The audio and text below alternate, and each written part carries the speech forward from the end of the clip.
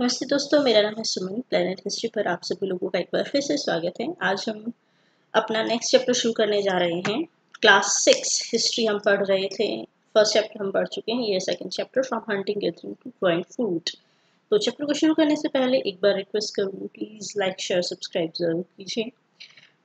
Tushar train journey तो यहाँ पर शुरू होती है ट्रेन जर्नी तुषार दिल्ली जा रहा है, चेन्नई से अपनी कज़न की वेडिंग में और बाहर वो दिखता है कि बहुत सारे पेड़ हैं, पौधे हैं और तितलियाँ उड़ रही हैं, कुछ हाउस फ्लाई पास टैप के शोल्डर तो उनके अंकल ने उसके शोल्डर को टैप किया और पूछा कि तुमको पता है 150 साल पहले ही लगभग ट्रेन चलना शुरू हुई और उसके बाद ही फिर बसें चलना शुरू हुई थी। तो तुषार ने सोचा कि people can travel quickly from one place to another जब बहुत ही कम समय में जल्दी से लोग एक जगह से दूसरी जगह ट्रेवल नहीं कर पाते थे, तब क्या वो एक जगह पर रहकर ही अपना पूरा जीवन बिता देते थे? नॉट क्वाइट तो ये तो हमने फ़र्स्ट चैप्टर में देखा था कि लोग एक जगह से दूसरी जगह मूव करते थे एंशियन टाइम्स में भी। तो उनके एक जगह से दूसरी जगह पर मूव करने का टाइम बहुत एंशियन टाइम में क्या था? उसी के ऊपर ये चैप्टर है ग्रोइंग फ़ूड खाने की तलाश में। ऑब्वियसली एक जगह उनको नहीं मिलता था खाना, क्योंकि वो खेती बाड़ी जब तक नहीं जानते थे तो। इसमें तीन फ़ेज़ हैं। ऑलमोस्ट पूरा चैप्टर स्टोन एज को कवर किए हुए हैं। स्टोन एज हमने कुछ मूवीज़ वगैरह हमने देखी होंगी कि पहले आइस एज थी। उसको ऑलमोस्ट स्टोन एज भी बोला जाता है, उसके काफ़ी सारे पार्ट को। तो तीन फ़ेज़ आ जाते हैं स्टोन एज में मतलब पूरी की पूरी हिस्ट्री जो हमारी है, वो ninety percent history stone age को ही कवर करती है ह्यूमन हिस्ट्री तो earliest people why were they on the move तो पहले के जो लोग हैं, वो तो किसी की शादी में जा नहीं रहे हैं मतलब हो भी सकता है, पहले शादियाँ का, कब से शुरू हुई हैं?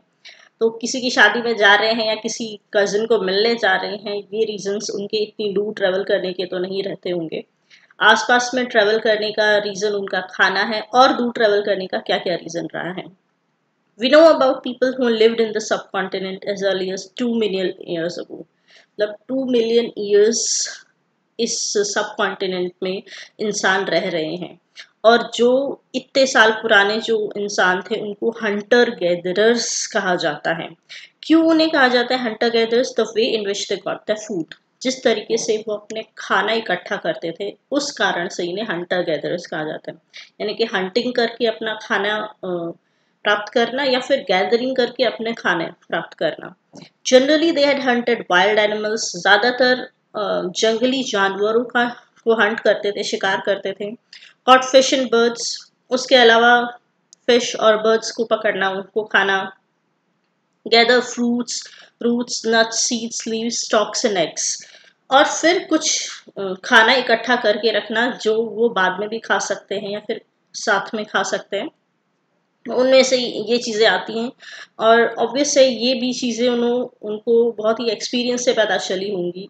एक्स मतलब एक्सपेरिमेंट करके पता चली होंगी कि क्या चीज़ खाने की है और क्या नहीं है। Hunter gatherers move from place to place अब ये हंटर गैदर्स थे, वो एक जगह से दूसरी जगह मूव करते थे, ये भी करते थे पैदल करते थे। तो इनके मूव करने का कारण क्या था?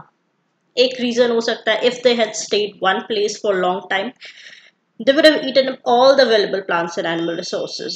अब जहाँ जिस जगह पर ये रह रहे हैं तो खेती बाड़ी तो नहीं करते थे तो क्या उस जगह पर जितने भी रिसोर्सेज हैं, खाने के प्लांट्स हैं एनिमल्स हैं, वो सब तो ये ख़त्म कर चुके होते हैं। फिर उनको लगता है कि अभी हमें नया खाना ढूंढना पड़ेगा और नए खाने की तलाश में एक जगह से दूसरी जगह मूव करते हैं।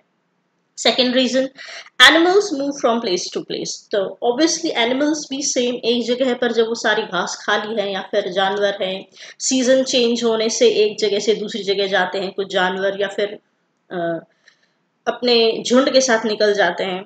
तो उन एनिमल्स के मूवमेंट को भी ऑब्ज़र्व करना कि इस आ, सीज़न में या इस समय पर ये जानवर यहाँ होते हैं या पक्षी यहाँ होते हैं और फिर वहाँ पर मूव करते हैं तो उनके पीछे जाना, उनकी मूवमेंट्स को फॉलो करना, उनका शिकार करने के लिए।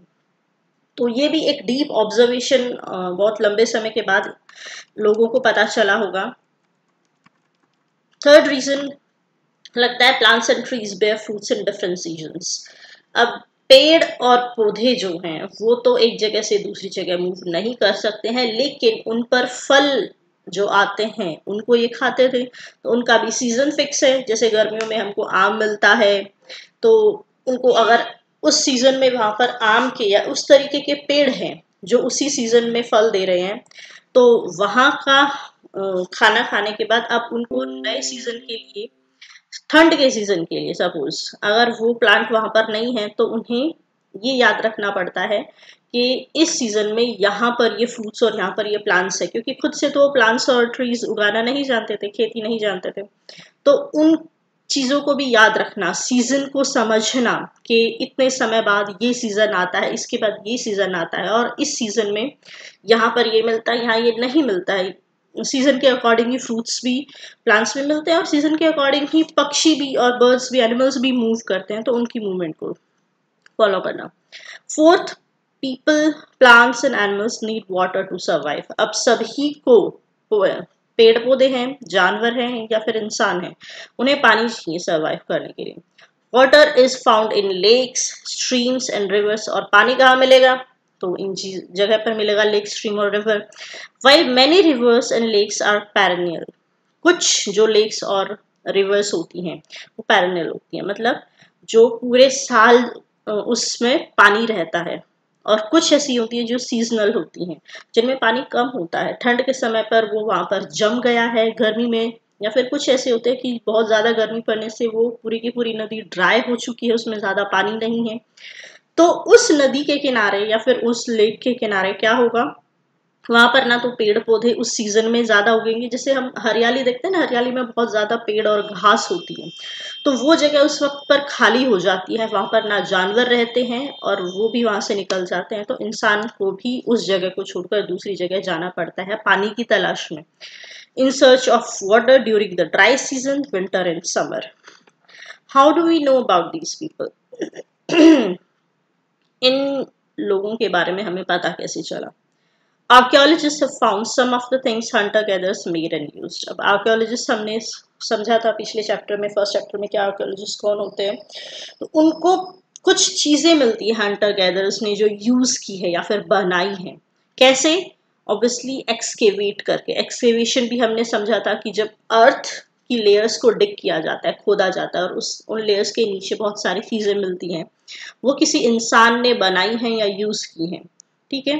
तो उन चीज़ों को जब आर्कोलॉजिस्ट एक्सकेवेट करके निकालते हैं तो उनसे, उनके समय का और समझ में आता है कि उन्होंने किस रीज़न से ये बनाई हो तो उनमें बहुत सारी चीज़ें मिलती हैं।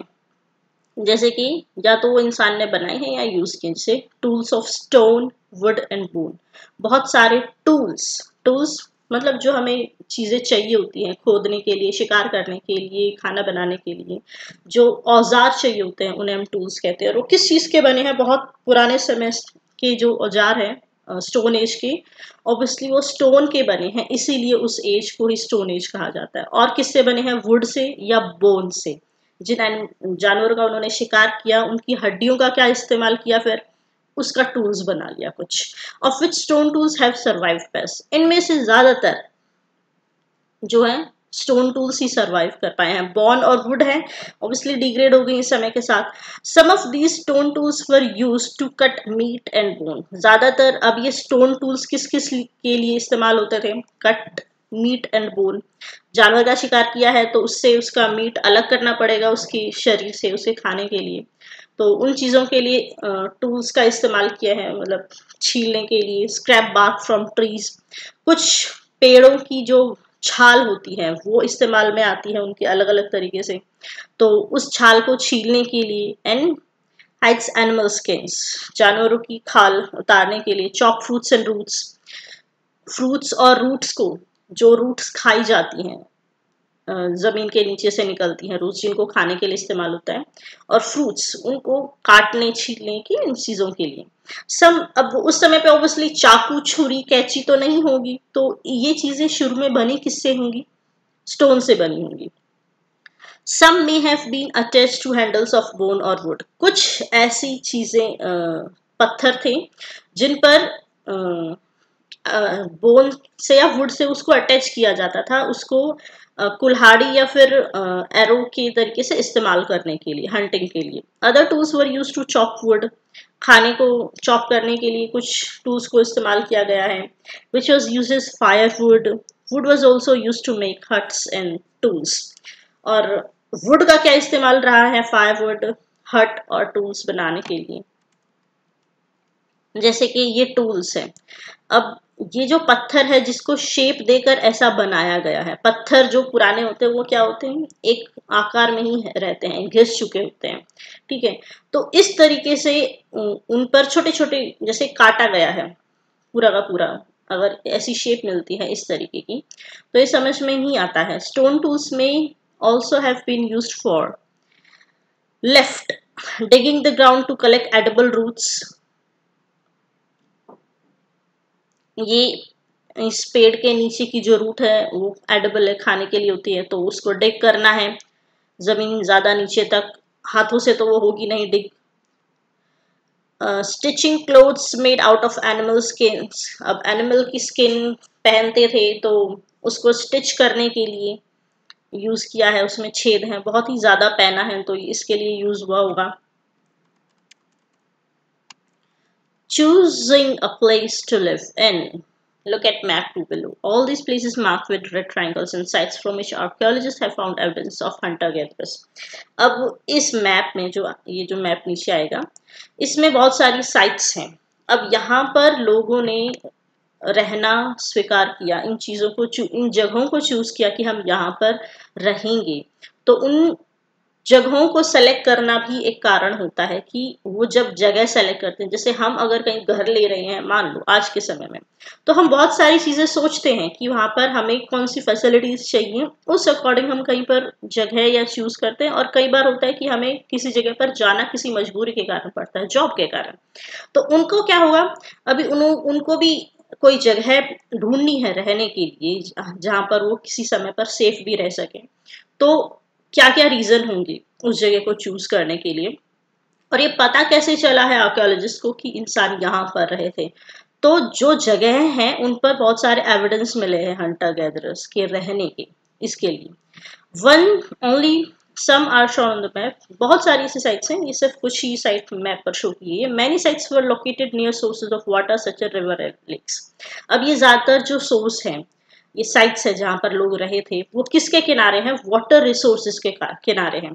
या तो वहाँ पर रिवर है या फिर आसपास में लेक है कोई। तो समझ में आता है, बिना पानी के तो इंसान हम दिन में कितनी बार पानी पीते हैं? डेली हमें पानी चाहिए होता है। तो उस इंसान को वो बहुत दूर पानी के रिसोर्स से जा नहीं सकता है। तो ज़्यादातर जगह उन्होंने रहने के लिए कौन सी चुनी है? पानी के किनारे की। ठीक है, अब इस मैप को अगर हम देखें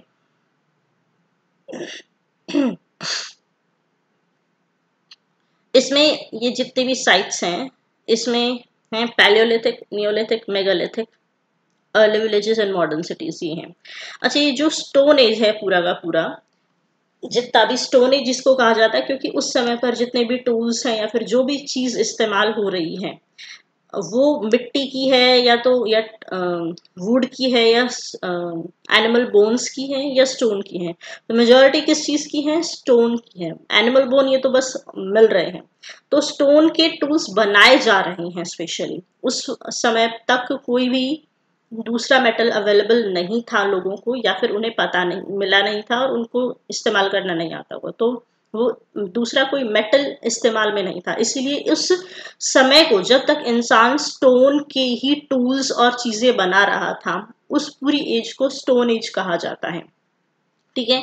ये लोहा है उसके स्टोन के बाद सबसे पहले आया था कॉपर फिर आया था ब्रोंज फिर आया था आयरन ये बाद में हुए थे। इसीलिए जब यूज़ हुआ तो उसको कॉपर एज का नाम दिया, जब कॉपर सबसे पहले इस इंसान ने इस्तेमाल किया। फिर कॉपर टिन को मिलाकर ब्रॉन्ज यूज़ किया तो उसको ब्रॉन्ज एज नाम दिया और फिर उसके बाद आयरन आया था।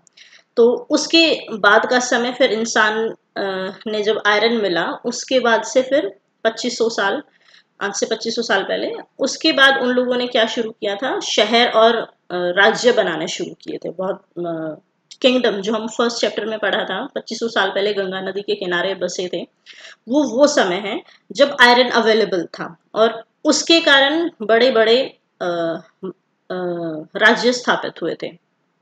ठीक है?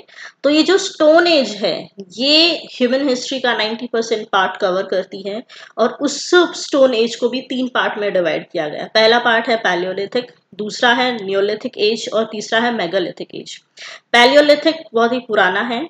ये है पैलियोलिथिक साइट कौन सी है? रेड वाली। भिम्बेटका हुंसी और कुर्नूल केव्स ये जगह है जहाँ पर पैलियोलिथिक टाइम के इंसान के रहने के साक्ष्य मिले हैं। दूसरा है न्योलिथिक जो पयमपल्ली हल्लूर मेहरगढ़ बुरझोम कोल्डीवा महागढ़ चिरांद दाउजी दाउशली हदें ठीक है? और लेस्ट आता है मेगालिथिक साइट आदिचलनूर ब्रह्मगिरी दो ही साइट्स हैं यहाँ पर। फिर आती अर्ली विलेज ये है इनाम गाँव जो सबसे पहले विलेजेस में से एक है इनाम गाँव गाँव बसने शुरू हुए थे, लगभग आठ हज़ार साल पहले कुछ, ठीक है ना? मॉडर्न सिटीज़ मुंबई और कोलकाता, इधर है यहाँ पर, दिल्ली आपको पता होगा। तो ये हमने पूरा मैप देखा भिम्बेट का इन प्रेजेंट डे मध्य प्रदेश। बिम्बेटका मध्य प्रदेश में है this is an old site with caves and rock shelters people choose these natural caves because they provide shelter from the rain heat and wind sorry तो भिम्बेट का हमने कहा देखा है? मध्य प्रदेश। ये रहा। ये क्या है? पैलियोलिथिक साइट है। सबसे पुराना समय में से है भिम्बेट का पैलियोलिथिक साइट ठीक है? पैलियोलिथिक साइट है भिम्बेटका मध्य प्रदेश में। यहाँ से हमें केव्स और रॉक शेल्टर्स मिले हैं। अब गुफाएँ हैं या फिर रॉक शेल्टर है, उसमें जानवर भी तो रह सकते हैं। ज़रूरी इंसान की गुफा है, ये कैसे पता चलेगा? तो people choose this natural caves ये किस इंसान ने बनाई नहीं है, ये नेचुरली बनी हुई थी, उसके नीचे इंसान ने रहना चूज़ किया। क्यों रहना स्वीकार, सोचा होगा वहाँ पर? क्योंकि वो शेल्टर प्रोवाइड करती है। बहुत बहुत ही ज़्यादा बारिश हो रही है, गर्मी है, हवा चल रही है, ठंड है। तो प्रोटेक्शन के लिए कहा? जैसे नेचुरल सी ही बात है। जानवर भी, हमने देखा होगा कि बारिश आ रही होती है तो पक्षी और कुत्ते हैं अपने गली में देखेंगे कि वो शेल्टर ढूंढ रहे होते हैं। तो इंसान ने शेल्टर कहाँ ढूंढी होगी? पेड़ों पर तो नहीं। गुफाएँ जो नेचुरल कीव्स प्रकृति ने बनाई है उनको ढूंढा होगा। These rock shelters are close to Narmada valley और ये है नर्मदा नदी जो है।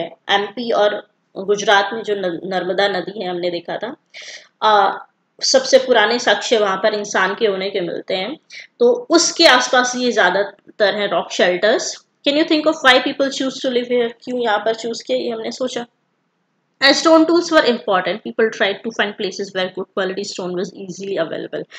एक रीजन है कि इंसान कोई जगह ढूंढ रहा है तो पानी वहाँ पर आसपास पानी का रिसोर्स होना चाहिए कुछ। और दूसरा स्टोन टूल्स क्योंकि उनका पूरा का पूरा जीवन वो सिर्फ़ पानी पीकर तो नहीं गुजार रहे हैं। वो जो बाकी काम कर रहे हैं अपने शिकार करने का और टूल्स बनाने का कोई चीज़ पेड़ों से वो करनी है खोदना है पेड़ों को, जड़ खोदना, ये सब काम टूल्स से कर रहे हैं। तो वो टूल्स उन्हें अच्छे क्वालिटी के स्टोन चाहिए होगा। नॉर्मल छोटे छोटे पत्थर तो नहीं, एक बड़े बड़े कुछ पत्थर होंगे, उनको अच्छे से शेप दिया जा सके और वो स्टेबल रहे, वो टूटे ना। तो अच्छी क्वालिटी के स्टोन जहाँ मिलेंगे वहाँ पर पास रहेंगे। Rock paintings and what they tell us अब ये जो शेल्टर्स है रॉक शेल्टर्स है, उसमें पेंटिंग्स बनी हुई है। तो इसलिए पेंटिंग जानवर ने तो नहीं बनाई होगी। अब painting from a rock shelter ये एक पेंटिंग है रॉक शेल्टर में, जहाँ पर रहते थे, उसके अंदर ये पेंटिंग बनी हुई है। Many of the caves in which these early people lived have paintings on the walls some of the best examples are from Madhya Pradesh and southern Uttar Pradesh अब ये जो बेट का है, इसमें रॉक शेल्टर जो मिला है, उसके अंदर की दीवारों पर ये पेंटिंग बनी हुई है। ज़्यादातर ये मध्य प्रदेश और उत्तर प्रदेश, वही नर्मदा वैली और इसके आसपास के हैं। These painting show wild animals drawn with great accuracy and skill बहुत ही अच्छे से बनाया हुआ है। शिकार कर रहा है, पकड़ रहा है या फिर उसके पीछे जा रहा है। इस तरीके का दृश्य रहते हैं। ये है वो रॉक शेल्टर्स यहाँ पर नीचे और इधर से नीचे। ये नेचुरल केव्स हैं। जो प्रकृति ने इंसान को बना के दे दी और उन्होंने वहाँ पर अपना कब्जा जमा लिया। जानवर ना आए। जानवरों से पहले, ठीक है? Sites are places where the remains of things tools pots buildings etcetera were used अब बहुत बार ये site site site word use हो रहा है। पैलियोलिथिक साइट है नियोलिथिक साइट है मेगालिथिक साइट है। तो ये साइट का मतलब क्या है? साइट्स उन जगहों को कहा जाता है जहाँ पर किसी इंसान के होने के साक्ष्य मिले होते हैं। वहाँ पर उनकी कोई टूल मिला होता है पॉट्स मिले होते हैं या फिर बिल्डिंग्स और बहुत बाद में तो मतलब जो लोगों ने ईट के पत्थर के घर बनाने शुरू किए थे, वो भी ज़मीन के अंदर से निकलते हैं। ईटें मिलती हैं, घर के घर बने मिलते हैं। तो वो जो जितने भी जगह हैं जहाँ पर ये साक्ष्य मिलते हैं, उन साक्ष्य से मिली हुई जगहों को बोलता है, बोला जाता है sites these were made used and left behind by people अब ये जो जगह हैं, वो नेचुरली जैसे केव्स हैं। वो इंसान ने नहीं बनाई है, वो इंसान ने यूज़ की है, ठीक है? तो वो इंसान, वो जो साइट्स हैं, वहाँ पर जो जगह जो चीज़ें मिली हैं, वो या तो इंसान ने बनाई भी हो सकती हैं या फिर उसने यूज़ भी की हो सकती है या फिर कोई ऐसी चीज़ वो बहुत समय वहाँ रुका नहीं होगा उसको छोड़ के निकल लिया होगा वहाँ से। These may be found on the surface of the earth अब कुछ चीज़ें जो ये बिल्डिंग्स है टूल्स है पॉट्स है, वो अर्थ की सरफेस पर भी मिल सकती हैं या फिर buried under the earth earth के नीचे भी मिल सकती हैं और समटाइम्स इवन अंडर वाटर या फिर जितने भी वाटर रिसोर्सेज है, उनके नीचे भी मिल सकती हैं। You will learn more about different sites and later chapters finding out about fire find the Kurnool caves on map two traces of ash have been found here अब कुरनूल केव्स हमें कहाँ दिखता है? मैप में फिर से देखते हैं जाकर। ये है कुरनूल केव्स। अब ये रेड है मार्क तो मतलब पैलियोलिथिक साइट है। तो पैलियोलिथिक जो एज है, वो दस हज़ार साल पहले तक है। उसके बाद नियोलिथिक नियो, सॉरी, मेगालिथिक शुरू हो गई थी। ठीक है? पहले पैलियोलिथिक है, उसके बाद मेगालिथिक आती है, उसके बाद न्यू आती है। न्यू, सबसे नई वाली जगह, स्टोन एज आता है। तो पैलियोलिथिक साइट है मतलब लगभग दस हज़ार साल पहले से ही आग का आविष्कार हो चुका था। सॉरी आविष्कार नहीं मतलब इंसान ने ये समझ लिया था कि आग का जो इस्तेमाल है, वो हम अपने जीवन में कर सकते हैं। Traces of ash have been found here Kurnool cave के अंदर, अब किसी केव के अंदर एश मतलब कोई राख या कुछ मिलता है तो इसलिए केव के अंदर तो कोई लकड़ी, वो तो है नहीं कि अपने आप से आग लग गई। This suggest that people were familiar with the use of fire मतलब उन्होंने वहाँ पर अंदर आग खुद से जलाई है। तो इसका मतलब ये हो सकता है कि आग के इस्तेमाल से उस समय इंसान परिचित थे। Fire could have been used for many things as a source of light अगर गुफा के अंदर कोई जानवर आता है तो इंसान उस एनिमल को डरा के भगाने के लिए रात को अंधेरे में रोशनी चाहिए, उसके लिए भी यूज़ हो सकती है। या मीट जो कच्चा मीट है, उसको पकाकर खाने के लिए। तो पकाकर खाना भी उसने किसी एक्सपेरिमेंट से ही सीखा होगा। What do we use fire for today आज हम फायर का इस्तेमाल, आग का इस्तेमाल बहुत अलग अलग चीज़ों के लिए करते हैं। तो पुराने लोग जो थे, जो गुफाओं में रहते हैं, एक जगह से दूसरी जगह शिकार करते हैं, उनके लिए ये आग के इस्तेमाल यही हो सकते हैं। नेम्स एंड डेट्स अब जो हमने मैप में देखा था palaeolithic site neolithic site megalithic site इसका डिस्क्रिप्शन पढ़ते हैं। Archaeologists have given lengthy names for time that we are studying अब ये जो स्टोन एज हम इस चैप्टर में पढ़ रहे हैं, इसके लिए बहुत लंबे लंबे नाम आर्कियोलॉजिस्ट ने दिए हैं। सबसे पुराना समय है पैलियोलिथिक साइट अब ये पैलियोलिथिक जो ये वर्ड्स हैं, ये ग्रीक वर्ड्स हैं।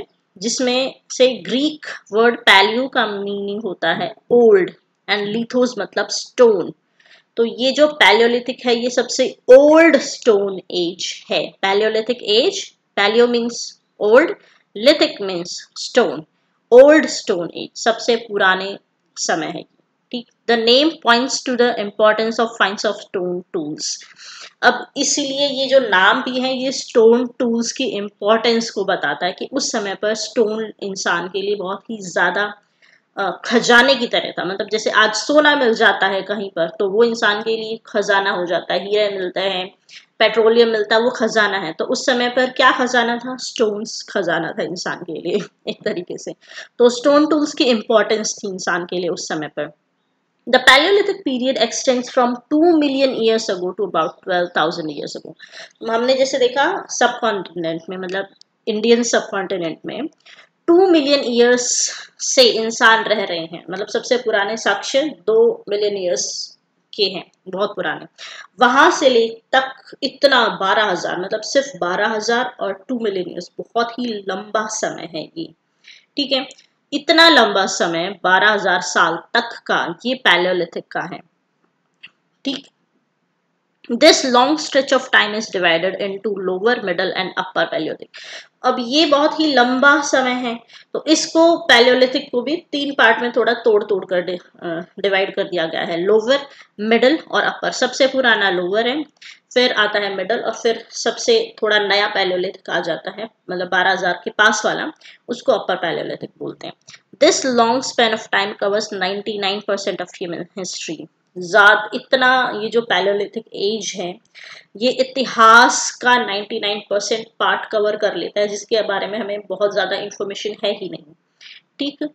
The period when we find environmental changes beginning about 12000 years ago अब इंसान उसी तरीके से रह रहा था 12000 साल कि पहले ये ऐसा हुआ क्या कि इंसान के रहने का तरीका बदल गया और वो एज है।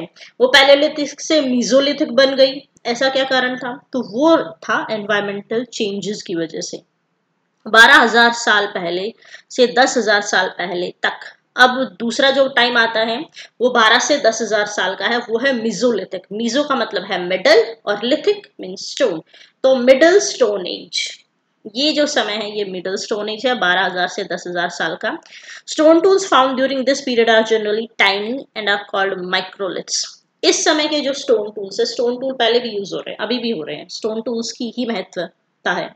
तो अभी के जो स्टोन टूल्स है, वो और भी छोटे और शार्प हैं। मतलब उसका यूज़ अब और ज़्यादा बढ़ गया है। तो और भी नए नए टाइप के टूल्स उन्होंने बना लिए हैं। और ज़्यादा क्या हो सकते हैं? और ज़्यादा मतलब चॉप करने के फाइन चॉपिंग टूल्स और एरोहेड्स सम शिकार करने के लिए बहुत ही अच्छे तरीके से। तो इन इन जो टूल्स को नाम दिया जाता है माइक्रोलिथ माइक्रोलिथ लिथ मतलब स्टोन माइक्रो मतलब छोटे, और भी छोटे टूल्स इस समय पर आ गए थे। Microliths probably stuck on handle of bone और वुड अब ये जो कुल्हाड़ी या फिर शिकार करने से या कूदने से, इन तरीके की चीज़ों को किसी हैंडल के साथ यूज़ करने लग गए थे स्टोन को। मतलब उसके साथ कोई अटैच हैंडल डाल दिया है, वो कुल्हाड़ी तरीके से, या फिर अलग अलग तरीके से उसको यूज़ किया जा रहा है। इसलिए मतलब इंसान और आगे प्रोग्रेसिव हो रहा है स्टोन एज में ही। ठीक है, ये समय 12 से दस हज़ार साल का है, याद रखना है। At the same time older varieties of tools continue to be used अब ऐसा नहीं है कि उन्होंने पुरानी चीज़ें छोड़ दी हैं। तो ऐसा कोई टाइम है नहीं फिक्स भाई, बारह हज़ार हो गई और पैलियोलिथिक खत्म हो गया और मिजो शुरू हो गया है। ये टाइम भी आपस में ओवरलैप होता है, क्योंकि कई जगह पर चीज़ें पहले बदल जाती हैं, दूसरी जगह पर बाद में बदलती हैं। इससे अभी का भी है कि कहीं पर आज भी लोग गाँव हैं, कहीं पर आज भी हंटर गैदर्स अभी भी रहते हैं। तो अभी मतलब शहर और सभ्यता इतनी ज़्यादा बदल गई है तो हर जगह पर सेम टाइम पे बदलेगी, ये तो ज़रूरी नहीं। इसलिए ये जो टाइम की ओवरलैपिंग है जो पैलोलिथिक जगह है, पैलोलिथिक टाइम है, वो कहीं पर 12000 साल पहले, सबसे पहले कहाँ चेंज हुआ बारह हज़ार साल पहले लगभग चेंज हुआ होगा। और कहीं पर 10000 साल तक भी, अभी भी वहाँ पर पैलोलिथिक तरीके से ही लोग रह रहे थे, जैसे पैलोलिथिक टाइम में रहते थे। तो 12 से 10 ये ऐसा टाइम एवरेज हो जाता है। Next stage from about ten thousand years ago is known age Neolithic और दस हज़ार साल के बाद क्या आता है? नियोलिथिक नियो मतलब न्यू और लिथिक मतलब स्टोन तो न्यू स्टोन एज सबसे नया. दस हज़ार साल से लगभग आठ हज़ार साल, आठ छ के आसपास. ठीक है, उसके बाद कॉपर स्टोन एज खत्म हो गई थी और कॉपर एज लगभग आठ से सात हज़ार के आसपास. कॉपर इंसान ने यूज़ करना शुरू कर दिया था और स्टोन एज स्टोन के बाद अब एक नया मेटल आ गया था। स्टोन बंद मतलब ऐसा नहीं कि स्टोन का यूज़ बंद हो गया था बट स्टोन की वो महत्वता अब कॉपर के पास चली गई थी। एक मेटल इंसान को मिला तो फिर बाद में कॉपर एज न्यूलिथिक के बाद शुरू हुआ था। Have also mentioned the names of some places. You will find the names of many more places in later chapters. So a changing environment अब ये हुआ क्या? पैलोलिथिक से मीजोलिथिक पे क्यों चेंज हुआ? 12000 साल पहले क्लाइमेट का चेंज हुआ। उससे पहले जो हम आइस एज पढ़ते हैं ना ऑलमोस्ट आइस एज था पूरा का पूरा समय। आइस एज मतलब ज़्यादातर जगहें, सारी की सारी, वो ठंडी थी। आइस से ढकी हुई थी बहुत ज़्यादा अर्थ का ज़्यादा पार्ट जो था, वो आइस से ढका हुआ था और बाकी जो था, वो बहुत ही ठंडा एनवायरनमेंट वहाँ पर था। तो 12000 साल पहले लगभग चेंज आया एनवायरनमेंट में और वो ठंड से वार्म कंडीशंस आ गई मतलब गर्मी थोड़ा सा बढ़ा। अब गर्म जो जगह है वार्म कंडीशंस बढ़ी तो ग्रासलैंड बढ़े डेवलपमेंट ऑफ़ ग्रासलैंड्स और ज़्यादा ग्रासेस हुई। तो उससे क्या हुआ, जो ठंड में जानवर ज़्यादा नहीं थे वो, अब जानवरों का बढ़ संख्या बढ़ गई। Increase in the number of deer antelope goat sheep and cattle अब ये जो जानवर थे, जो इंसान को इजीली मिल जाते थे, बहुत ज़्यादा जंगली नहीं होते थे, खाने के लिए, शिकार करने के लिए, वो इंसान को अवेलेबल होने लगे क्योंकि उनकी संख्या बढ़ गई थी। ठीक है? तो मतलब जब रहने के लिए अच्छी कंडीशंस होती हैं तो जनसंख्या ज़्यादा बढ़ती है, ये एक नॉर्मल सी समझ है। For example animals that survive on grass मतलब कंडीशंस उनको ज़्यादा अच्छी मिली रहने के लिए तो एनिमल्स की संख्या भी ज़्यादा हो गई। Those who hunted these animals now followed them अब इन जान ऑब्वियसली इन जानवरों को जो फॉलो कर रहे थे, शिकार कर रहे थे, वो लोग भी बढ़े learning about the food habits and the breeding seasons और धीरे धीरे इंसान ने अपनी समझ डेवलप करनी शुरू की। ये ये जो जानवर हैं, इनकी फ़ूड हैबिट्स क्या हैं, उनके ब्रीडिंग सीजन्स क्या हैं? People to start thinking about herding and rearing these animals themselves फिर उन्होंने सोचा कि ये जो जानवर है, ये ज़्यादा खूंखार नहीं है, ये हमें नुकसान नहीं पहुंचाते हैं। तो जैसे वो फ़ूड गैदर कर रहे हैं, कि हमें ऐसे टाइम के लिए जब हमें फ़ूड ना मिले तो हमको इकट्ठा करके रख लेना चाहिए रूट्स वगैरह ऐसी चीज़ें जो थोड़ा लंबे समय तक टिकते हैं ये उनके समझ में था। तो उनको लगा कि, कि अब हमको गैदर जानवरों को भी तो करना चाहिए। हो सकता है समय आने पर हमें मांस की ज़रूरत पड़े खाना कहीं और ना मिले। तो उसने उस उन जानवरों को अपने साथ रखना शुरू कर दिया कि इनकी संख्या अपने पास स्टोर करके रख लेते हैं। तो उन जानवरों को खिलाना पिलाना साथ में रखा तो उनकी हर्डिंग शुरू हुई। तो डोमेस्टिकेशन थोड़ा सा एक तरीके से शुरू हुआ कि इन जानवरों को हम अपने पास रखते हैं ऐसे समय के लिए। और वार्म कंडीशंस थोड़ी बढ़ी, नदियों में पानी वगैरह थोड़ा ज़्यादा बढ़ा तो फिशिंग भी इंपॉर्टेंट हो गई उस समय पर। तो इंसान आराम से जब संख्या बढ़ती है फिशिंग फिशेस की तो फिशिंग और ज़्यादा इंपॉर्टेंट हो गई। खाने के लिए एक नया सोर्स ज़्यादा अच्छा ज़्यादा सोर्स इंसान को मिलना शुरू हुआ। The beginning of farming and herding और ये जो समय था तब मीजोलिथिक तब इंसान ने फ़ार्मिंग और हर्डिंग के लिए सोचा। क्योंकि कंडीशंस जो थी उससे पहले ठंडी थी। खेती के लिए थी नहीं कंडीशन कंडीशन खेती के लिए डेवलप हुई। तो इंसान मतलब ग्रासलैंड बढ़ा वो जो अनाज है वो ज़्यादा संख्या में एक जगह दिखाई दे रहा है। तो उस इंसान उस चीज़ के बारे में इंसान ने सोचा कि ये जो है इत, अनाज ये इतनी जग इतना सारा यहाँ पर उग रहा है तो उसको कैसे उगाया जा सकता है? उसको किस सीज़न में उगाया जा रहा है। पूरी की पूरी चीज़ें ऑब्जर्वेशन एक्सपेरिमेंट शुरू हुई। This was also a time in several grain bearing grasses including wheat barley and rice grew naturally in different parts of the subcontinent जब नेचुरली कहीं पर वॉट व्हीट बाले और राइस अपने आप थोड़ा ज़्यादा उनको दिखाई दे रहा है तो उसको स्टडी करना इंसान ने शुरू किया। Man women and children probably collected these grains and food उसमें से ग्रेन्स मैन वुमेन चिल्ड्रन सभी कलेक्ट करके रख रहे हैं अपने समय के लिए। लर्न वे दे ग्रो सीखा कहाँ ये आ, किस मिट्टी में या किस कंडीशन में ये अनाज पैदा हो रहा है कब पक रहा है। Think about growing plants on the on तो हम जहाँ पर रह रहे हैं उस जगह पर इसको उगा लेते हैं ताकि हमें ट्रेवल ना करना पड़े। एक जगह पर हम इकट्ठा कर लेते हैं। उसको इकट्ठा करने की और स्टोर करने की थिंकिंग ही खाना जो मेन चीज़ थी इंसान के लिए उस समय पर। वही इंसान को और आगे डेवलप कर रही है। पीपल बिकेम फार्मर्स और फार्मर धीरे धीरे इस तरीके से इंसान फार्मर बनना शुरू हुआ।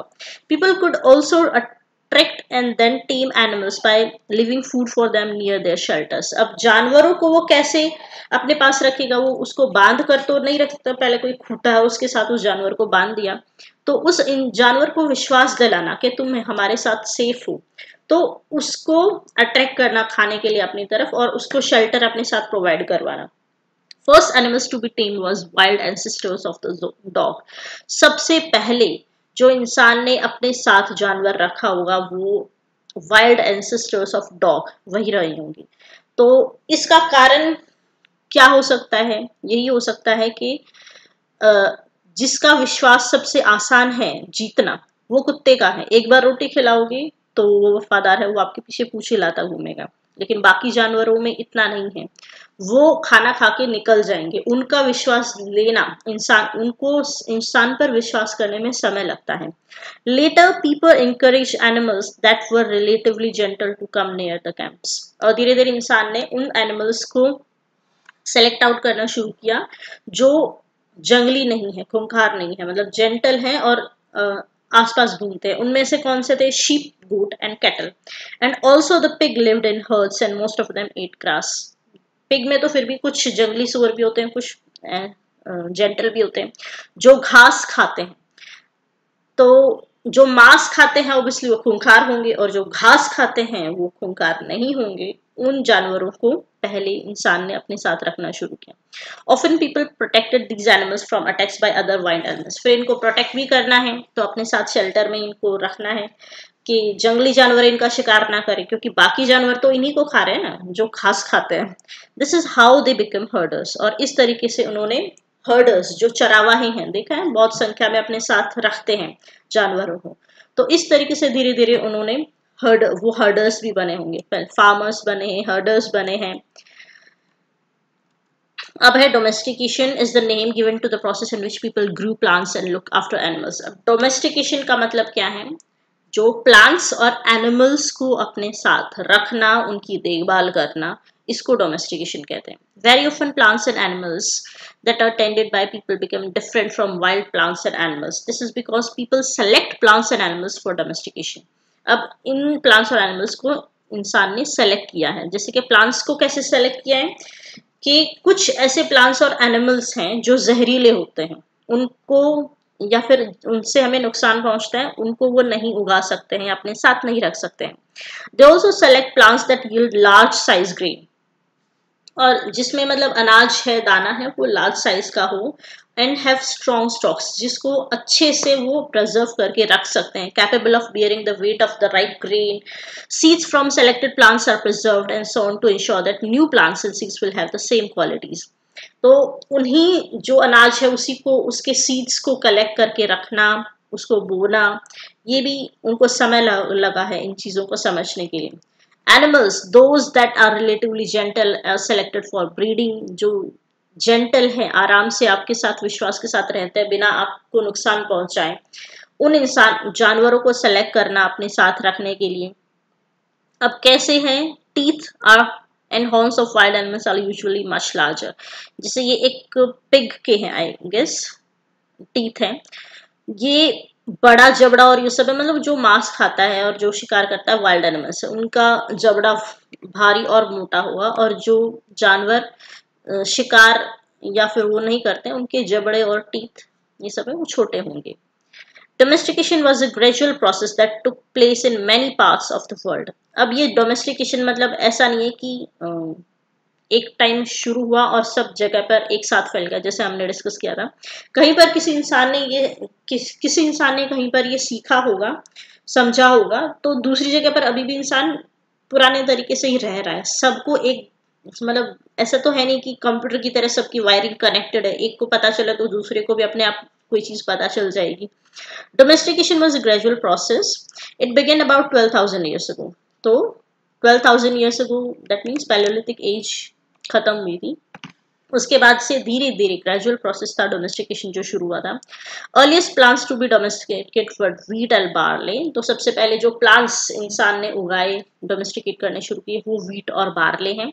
और earliest domesticated animals sheep and goat okay a new way of life way in which grains was use अब ये जो ग्रेन है, अनाज है, वो सब कैसे उन्होंने यूज़ किया है? एज अ सीड क्योंकि नया बोना है तो सीड के तरीके से प्रिजर्व भी किया है एज अ फ़ूड खाने के लिए भी है एज गिफ्ट तो ऑब्वियसली जैसे अभी है, हम कहीं पर जाके दुकान पे पैसा देते हैं और खरीद लेते हैं। तो पहले अगर किसी इंसान को एक चीज़ की ज़रूरत है जो दूसरे के पास है तो एक्सचेंज करते हैं गिफ्ट्स के तरीके से कि तुम्हें ये चाहिए और तुम्हें ये चाहिए। तो पुराना ये बहुत ही पुराना सिस्टम है जिसको आज हम पहले बार्टर सिस्टम के नाम से भी जानते थे। स्टोर फॉर फ़ूड और स्टोर करने के लिए भी समय आने पर जो अब अब भी करते हैं स्टोर मतलब अनाज तो हम अभी भी करते हैं एक साल का एक साथ ही रहते हैं और फिर उसको स्टोर करके रखते हैं। If a plant if you plant a seed you will notice it takes some time to grow अब ये हमें पता है कि जब हम खेती करते हैं तो हमने जब अनाज बोया है खेत में तो वो बहुत सम, लंबा समय ये प्रोसेस जो है वो समय लेता है। कहीं पर डेज़ लगते हैं कहीं पर वीक लगते हैं कहीं पर मंथ्स लगते हैं। मतलब साल में जैसे दो फ़सल होती है तो छह महीने लगभग किसी फ़सल को आ, पक्के बाहर मिलने के लिए मिलते हैं। People begin growing plants stay in the same place watering weeding driving away animals and birds ये बहुत सारा बहुत ज़्यादा प्रोसेस होता है। खुदाई करना पानी देना उसकी रखवाली करना जानवरों और पक्षियों से। तो उसके लिए उसे एक जगह पर रहना पड़ेगा। वो उस अनाज को छोड़ के नहीं जा सकता है। तो इस तरीके से grain has to be store for both food and seed और फिर उसको स्टोर भी करके रखना है। तो स्टोर किए हुए इतने सारे अनाज को लेकर भी वो कहीं नहीं चल सकता है कि उठाया मतलब इतने इतने बड़े बड़े चीज़ें जिस भी बड़, चीज़ों चीज़ों में उन्हें स्टोर किया है। तो उसको उठाकर भी नहीं घूमता रह सकता है रोज की रोज। मेकिंग क्ले पोट्स उनको स्टोर करने के लिए उन्होंने क्या है? अभी जैसे हम स्टोर करते हैं तो बड़े बड़े कंटेनर्स होते हैं, जो मेटल के बने होते हैं। तो तब तो मेटल था नहीं स्टोनेज था। तो किसके लिए? उनके पास क्या अवेलेबल है? मिट्टी है। मिट्टी से क्या बनाएँगे? क्ले पोट्स बर्तन बनाएँगे, पका के उसको। बास बास्केट्स अब जो जानवरों की छाल है, खाल है, जो भी चीज़ें चीज़ें उन्हें मिल रही हैं, या फिर जैसे आज हम बनाते हैं बास्केट पत्तों से या डंडों से कुछ, वो भी बनाई होगी। तो dug pits into the ground और फिर दूसरा, कहा अब छोटे छोटे बर्तन तो जितने बड़े बर्तन उन्होंने बनाए होंगे तो इतना ज़्यादा अनाज अगर है तो बहुत बड़ा उन्होंने ग्राउंड में बड़े बड़े छेद किए छेद कह रहे बड़े बड़े गड्ढे किए होंगे, ठीक है? तो पुराने समय में कंटेनर्स नहीं होते थे बड़े बड़े गड्ढे पिट्स बनाए जाते थे, और उसको अच्छे से कवर किया जाता था मतलब लेयरिंग बनाई जाती थी मिट्टी की, पकी हुई मिट्टी की अच्छे से, और उसमें अनाज को स्टोर किया जाता था। तो ये चीज़ें स्टोर करने के लिए फिर उनको और भी ज़्यादा समय लगा सोचने के लिए क्या चीज़ कैसे की जा सकती है, और ऐसे धीरे धीरे करके इंसान ने विलेजेस में एक साथ रहना शुरू किया होगा। स्टोरिंग एनिमल्स जो जानवर मिल्क दे सकते हैं, उनको भी अपने साथ रखना। हमने जैसे बात की थी कि इंसान, जैसे खाना स्टोर करना है, ऐसे इंसान, जानवरों को भी स्टोर करना है। वो जब तक दूध दे रहा है, ठीक है। अगर कभी ज़रूरत पड़ती है, खाना कम पड़ रहा है या खाना, ऐसा समय आता है जब उन्होंने खाना नहीं मिलता है तो उसको मीट के तरीके से उस जानवर को यूज़ करना। तो स्टोर करना मतलब उनकी, उस जानवर की जनरेशन को भी स्टोर करके रखना अपने पास में। Turn to map two blue squares evidence of early farmers and herders अब ये जो इस चैप्टर में मैप है ब्लू स्क्वायर्स का, वो नया आता है। पैलोलिथिक ब्लू स्क्वायर्स कौन सी वाली साइट है? ठीक है। हम्म न्यूलिथिक मतलब सबसे न्यू स्टोन एज है। ये ब्लू स्क्वायर शरांद कोल्डिया मेहरगढ़ हल्लूर पयमपल्ली ये न्यू स्टोन एज कब शुरू होती है? लगभग दस हज़ार साल के बाद होती है। तो न्यू स्टोन एज जब शुरू होती है तो उस समय पर क्या होता है? फ़ार्मिंग और विलेजेस में रहना शुरू करते हैं लोग। Map two each marks aside from where archaeologist have found evidence of early farmers and herders तो जो मिडल स्टोन एज थी, तब क्या था? पैलोलिथिक साइट में तो सिर्फ़ और सिर्फ़ वो हंटर्स थे और गैदरर्स थे। फिर नेक्स्ट मिडल स्टोन एज आती है मीजोलिथिक टाइम तो मीजोलिथिक जो है समय पर, उस समय पर इंसान ने सीखा था कि जानवर और जो अनाज है, उसको कैसे यूज़ किया जा सकता है, उसको कैसे उगाया जा सकता है, ज़्यादा इस्तेमाल किया जा सकता है और बहुत ही छोटे छोटे स्टोन्स टू छोटे स्टोन टूल्स बनाना फाइन स्टोन टूल्स बनाना। तो और नियोलिथिक जो स्टोन एज है, वहाँ तक आते आते इंसान मतलब लगभग 2000 साल 12 से 10000 साल में वो एक ट्रांजिशन पीरियड रहा और 10000 साल के बाद नियोलिथिक स्टोन एज में मतलब तब तक इंसान फार्मर्स और हर्डर्स के तरीके से रहना शुरू कर चुके थे। उसके एविडेंस ये जो ब्लू स्क्वायर हमने देखे, वो सारे थे। These are found all over the subcontinent ये पूरे सब कॉन्टिनेंट मतलब साउथ में भी है ऊपर मेहरगढ़ में भी है बीच में कोल्डिवा भी है ये सारी की सारी चीज़ें जो साइट्स है ये ऑल ओवर सब कॉन्टिनेंट में मिलती है। मतलब आ, किसी एक जगह पर नहीं पूरे आ, जगह पर ट्रांजिशन पीरियड था न्यूलिथिक का। Some of the most important ones are in northwest, in present day Kashmir and in east and south India. तो east, south India, north, west सब आ गया इसमें। रिमेन्स ऑफ़ बर्ट ग्रीन्स कैसे पता चलता है? बर्ट ग्रीन्स के। मतलब अनाज जला हुआ कुछ है। उसका सबूत मिलते हैं, साक्ष्य मिलते हैं। Scientist can identify these grains scientist जो है, वो इन ग्रेन्स को आइडेंटिफाई कर सकते हैं साइंटिफिक साइंटिफिक प्रोसेस के थ्रू तो ये बहुत ही ज़्यादा संख्या में बड़े बड़े गड्ढों में नीचे मिलते हैं कहीं पर तो उनसे इनके बारे में पता चलता है। Identify the bones of different animals और जहाँ पर रह रहे हैं मतलब एक जगह पर इंसान रहता है तो वहाँ पर बहुत सारी चीज़ें एक ही जगह पर मिल रही हैं। तो वो साक्ष्य हो जाता है कि यहाँ पर इंसान रह रहा था और ये ये चीज़ें कर रहा था। तो बहुत अलग अलग जानवरों के बोन्स मिलते हैं, हड्डियाँ मिलती हैं। Towards the settled life archaeologist have found traces of huts और हाउसेस फिर उसके बाद, अब ठीक है फार्मर और हर्डर है। मतलब हर्डर तो फिर भी एक जगह से दूसरी जगह घूमते हैं। फार्मर्स को तो एक जगह रहना होता है।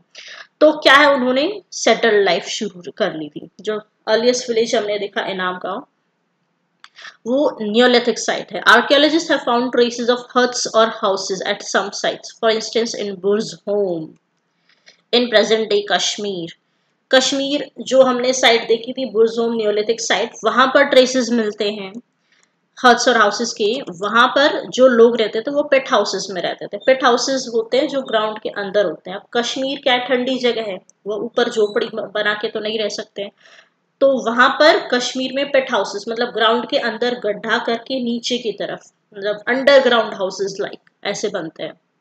With steps leading into them मतलब ऐसा नहीं, जानवर की तरह सिर्फ़ गड्ढा कर दिया प्रॉपर हाउस तरीके से बनाना स्टेप्स बनाना कि नीचे की तरफ़ सीढ़ियाँ जा रही हैं और नीचे उनके कमरे और जगह बने हुए these may have provided shelter in cold weather क्योंकि कश्मीर ठंडा है तो पहले तो और भी ठंडा रहा होगा, अभी तो गर्मी बढ़ गई है।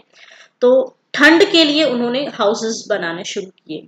तो अगर समझो कि वो अंडरग्राउंड हाउसेस बनाना सीख चुके हैं, इतना सीख क्या मतलब इतना प्रोसेस उनका दिमाग कर चुका है तो बाकी जगह पर तो ऊपर अगर हाउस बनाना तो और भी अच्छे बनाएँगे these may have provided shelter in cold cooking hearths both inside and outside the huts अब वहाँ पर क्या मिलता है? कुकिंग मतलब कुकिंग हट के बाहर भी और अंदर भी कुकिंग की चीज़ें मिलती हैं मतलब जली हुई कई चीज़ें मिलती हैं, और पहले चूल्हे बनाते थे, इस तरीके की चीज़ें। कुक फ़ूड इधर इंडोर्स और आउटडोर्स मतलब ऐसा सीज़न है जब बारिश है, ठंड, बर्फ़ पड़ रही है तो अंदर बनाना है खाना, नहीं है तो बाहर भी बनाना है खाना।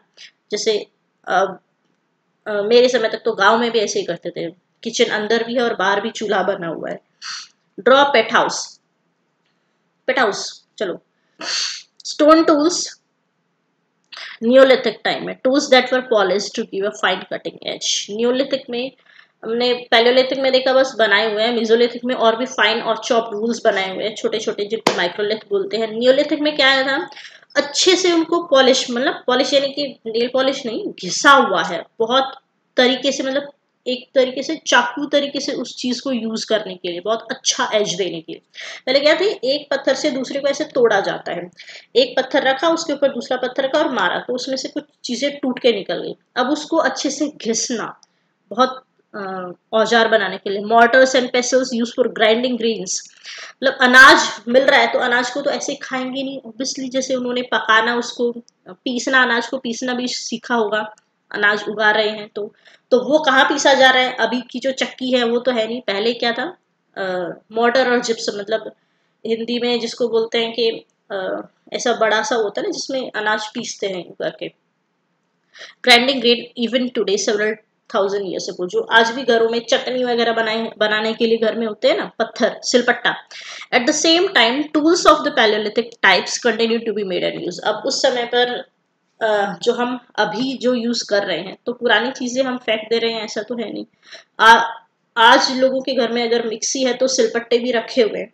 तो सिलपट्टा मतलब क्या हम पहले होते थे? मतलब स्टोरेज टाइम के तो है नहीं इंसान। तो पहले भी सेम ऐसे ही रहा था कि जब इंसान ने नई कोई खोज कर ली है तो पुरानी चीज़ें इस्तेमाल करना बंद हो गई है, ऐसा नहीं था। Some tools were also made of bone कई टूल्स अभी नियोलिथिक टाइम पे भी बोन के भी बने होते थे टूल्स न्यू स्टोन टूल्स ये देखिए, इनको बहुत ही पतले हैं ये। मतलब इतना मोटा स्टोन नहीं है, ऐसा इतना पतला है और इतना लंबा जा रहा है। उसको अच्छे से घिसा गया है प्रॉपरली लंबे लंबे। मतलब कुल्हाड़ी के तरीके से ही बिल्कुल। ये देखो, बिल्कुल पैना है यहाँ से और ये भी बिल्कुल पैना है। चाकू के जैसा मतलब अच्छे से खाना ही। या आलू भी छिल सकते हैं इससे, है many kind of earthen pots have also been found कई तरीके के अर्दन पॉट्स भी मिलते हैं। देवर समटाइम्स डेकोरेटेड अब डेकोरेशन और सजाना, सवारना चीज़ों को, ये न्योलिथिक टाइम पे लोगों ने शुरू किया था, आज से दस हज़ार साल पहले, कि जो पॉट्स हैं, जिन पर खाना बनाया जाता है या स्टोर किया जाता है, रखा जाता है, उनको डेकोरेट करना भी।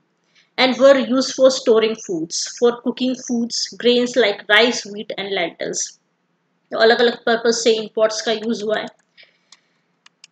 ये है pot what do think could have been stored in this jar मिट्टी की चीज़ें सारी। Besides they begin weaving cloths using different kinds of materials, for example, cotton that could now be grown. अब लोग इकट्ठा रह रहे हैं तो उनकी लाइफस्टाइल में और क्या ऐड हो रहा? कॉटन उगाना इससे इतना बड़ा अच्छा एक किस्सा है। कॉटन हम ना खेतों में उगाते हैं। तो आज से दस हज़ार साल पहले इंसान ने कॉटन उगाना खेतों में शुरू किया था। मतलब बहुत ही नए तरीके से जो हम गाँव में रहते हैं ना लोग, वो गाँव का सिस्टम आज से दस से बारह हज़ार साल पुराना है ऑलमोस्ट ठीक है? तो कॉटन यहाँ पर इस सब कॉन्टिनेंट में उगाया जाता था। जब अंग्रेज़ आए थे ना फ़र्स्ट टाइम यहाँ पर इंडिया में तो उन्होंने देखा था कि अरे इंडिया के लोग मतलब कितने ज़्यादा सभ्य हैं, कितने ज़्यादा आगे निकल चुके हैं। हम तो ऊन वगैरह जानवरों के ऊपर से अभी तक छाल निकालते हैं और इन्होंने तो कितने हज़ारों सालों पहले खेतों में ही कॉटन उगाना सीख लिया है। तो ये जो हम मज़ाक में कुछ मूवीज़ में हमने देखा है ना, ये कोई मज़ाक में नहीं बोलते हैं, सच में ऐसा ही है कि जब हम एक सभ्य तरीके से रह रहे थे, शहरों में राज्य महाराजा मतलब रजवाड़ों तरीके से रह रहे थे। तो उस वक्त तो वो जानवरों की तरह रहते थे अंग्रेज़, वो सच में था ऐसा। उन, कोई डेवलपमेंट नहीं था, कुछ भी नहीं था। और अचानक से उनको दूसरी जगह पर जाने को मिला तो सब कुछ चुराना शुरू कर दिया था। वो मैं कहाँ पहुँच गई बताते बताते। बिगिन विविंग क्लोथ्स ये दस हज़ार साल पहले गाँव में, गाँव की शुरुआत थी तो वहाँ पर लोग कॉटन को ग्रो करना और वो फिर एक बहुत लंबा प्रोसेस है ऑब्वियसली तो सुई भी उनके पास रही है। सुई भी उन्होंने किसी चीज़ से मेटल से बहुत ही पैना शार्प करके बनाई होगी। मतलब मेटल तो था नहीं तो स्टोन से ही बहुत जैसे हमने देखा था कि बहुत आगे से और भी पैना करना और कॉटन को सिल के उसमें से कॉटन से ही धागा बनाना और कपड़े बनाना। The things change everywhere at all once not white अब हर जगह पर एक ही टाइम पर नहीं होती हैं। अलग अलग जगह पर अभी भी लोग शिकार कर रहे हैं हंटर गैदरर्स की तरह रह रहे हैं और कहीं पर लोग गाँव में बस चुके हैं। Elsewhere people adopted farming and herding slowly people try to combine these activities doing different things during different seasons अब अलग अलग समय पर मतलब जब ठंड आ जा रही है, किसी गाँव में लोग रह रहे हैं। तो ठंड आ जाती। मतलब जैसे मैंने एक ना हर्डिंग कम्युनिटी से हरियाणा में, राजस्थान से घूमते घूमते एक हर्डिंग कम्युनिटी आई हुई थी। बहुत बहुत सारे जानवर थे उनके पास, ठीक है। ऊँट भी थे और बकरे भी थे बड़े बड़े ऐसे जंगली टाइप के बकरे दिखते थे। उनसे हमने पूछा था। तो वो यही बता रहे थे कि हम एक समय पर एक जगह पर रहते हैं। उनके पास बहुत सारी चीज़ें अवेलेबल हैं कि टेंट तरीके से अच्छे से घर बना के रहते हैं। लेकिन इस समय पर हमें ज़रूरत है हमारा, कि हमको एक जगह पर रहना है। वहाँ पर हम उनको टूल्स बनाते हैं। लोहे के बर्तन और वो चीज़ें बनाते थे और उनको बेचते थे कहते थे कि हम कुछ महीनों के लिए एक जगह पर रहते हैं और वहाँ पर अपने जानवरों को छोड़ देते हैं खाने के लिए, घास चरने के लिए सब कुछ। और फिर जब हमें लगता है ज़रूरत होती है तो हम वहाँ से निकल के फिर दूसरी जगह जाकर बसना शुरू करते हैं। तो उस समय पर भी लोगों ने यही किया हुआ कि एक अनाज वगैरह उन्होंने स्टोर किया, एक जगह पर काम किया, रहे, वहाँ पर की चीज़ें इस्तेमाल की और फिर वहाँ पर कुछ समय तक रहने के बाद मतलब झोपड़ी वगैरह बनाना वहाँ पर। ठीक है तो तंबू तो लगा नहीं सकते हैं, तंबू तो थे नहीं उनके पास ऐसे। तो झोपड़ी एक जगह पर बनाई, कुछ समय तक वहाँ पर रहे, वहाँ के रिसोर्सेज यूज़ किए और फिर वापस उठ के दूसरी जगह शिफ्ट हो गए। तो ये है कॉम्बिनेशन मतलब सेटल टाइप और हर्डिंग दोनों चीज़ें को कॉम्बिनेशन ऐसी कंबाइंड तरीके से भी लोगों ने रहना रह, रहते थे। A closer look living and dying in Mehrgarh ओ ये देखो ये घर है मेहरगढ़ में मिला हुआ। A house in Mehrgarh this is what a house in Mehrgarh may have look like in what ways is this house similar to the one in which you live ये चार कमरे हैं यहाँ पर। ये कमरे ईटों के घर जो है मेहरगढ़ में रहने।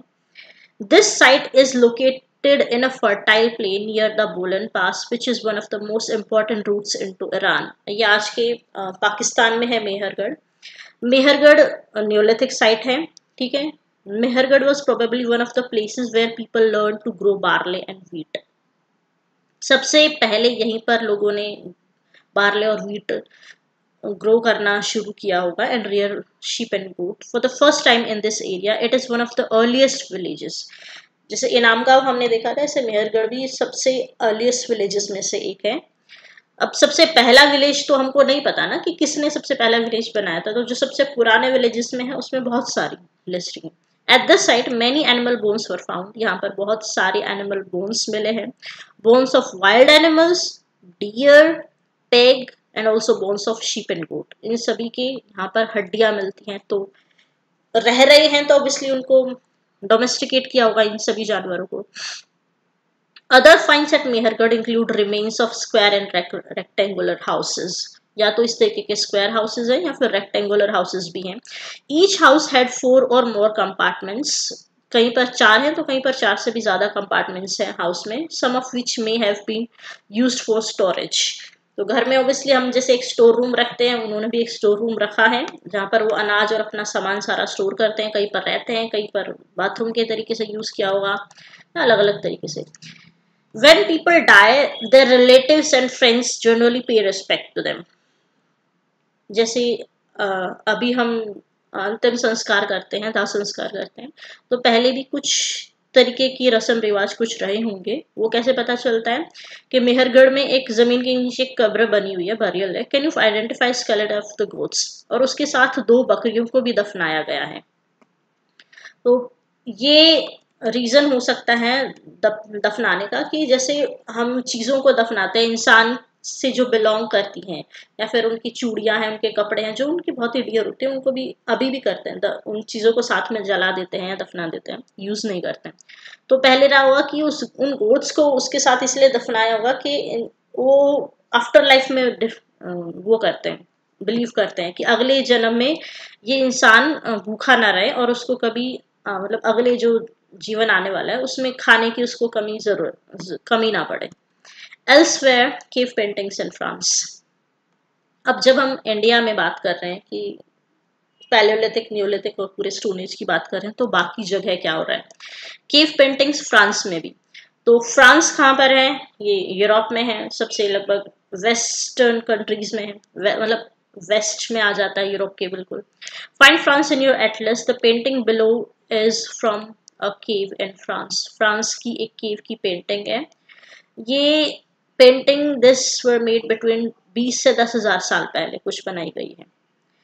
तो 20 से दस हज़ार साल पहले पेंटिंग्स केव पेंटिंग्स है। केव में लोग रह रहे हैं तो पैलियोलिथिक टाइम है। Many of these were of animals such as wild horses तो उनमें से जो पेंटिंग्स हैं, वो बहुत सारे जानवरों की हैं। वाइल्ड हॉर्सेस हैं जिसमें से aurochs and older wild form of cattle bison मतलब एक भैंस टाइप का जानवर होता है बीजन मतलब जंगली भैंस type woolly rhinoceros reindeer and bear painting in bright colours France में जो ये पेंटिंग्स हैं, ये कलर्स से बनाई गई हैं.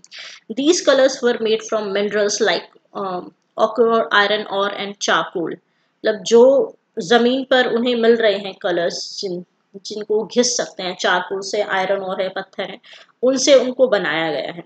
It is possible that these paintings were done on ceremonial occasions अब ये पेंटिंग से ये किसी सेरेमोनियल ओकेजन पर भी बनाई जा सकती हैं। पर जब उन्होंने made of special rituals perform by hunters before they went in search of prey मतलब जब वो शिकार के लिए जा रहे हैं या फिर उन्होंने शिकार कोई किया है तो उसके सेलिब्रेशन के लिए भी बनाया होगा।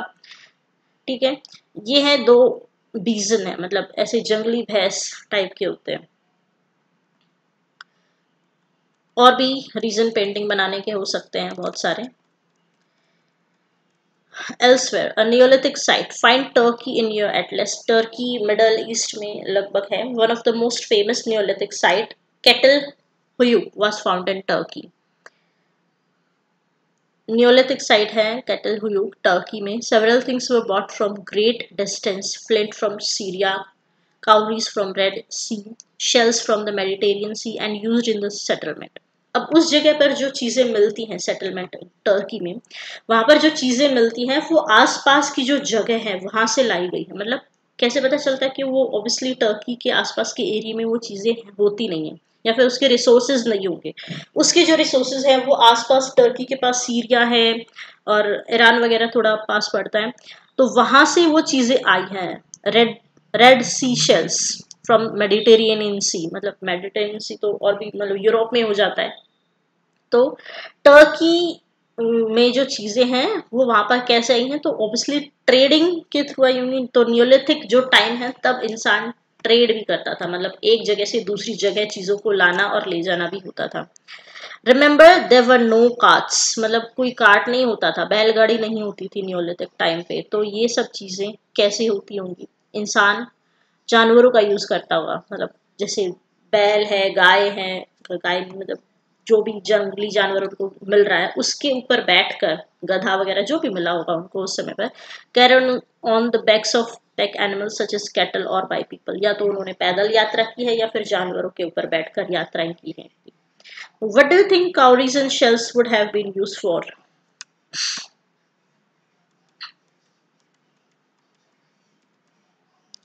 एक छोटा सा है। मीजोलिथिक पीरियड 12 से दस हज़ार साल पहले और इससे पहले का जो पीरियड है वो है पैलोलिथिक हमें पता है। पैलोलिथिक 12 से बारह हज़ार साल पहले से टू मिलियन ईयर्स अगो तक रहा है और 12,000 से 10,000 मीजोलिथिक टाइम है।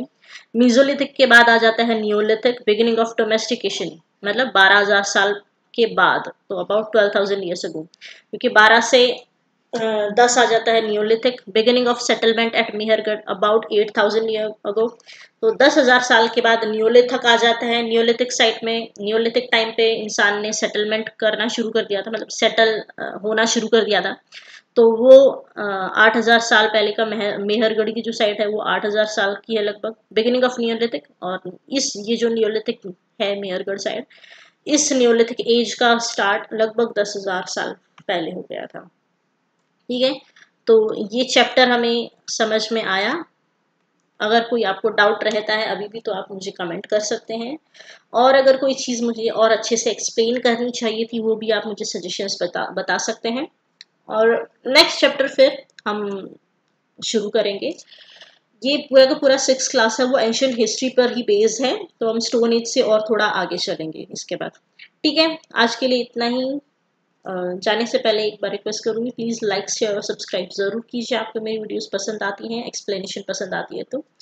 कल मिलते हैं, आज के लिए टाटा बाय बाय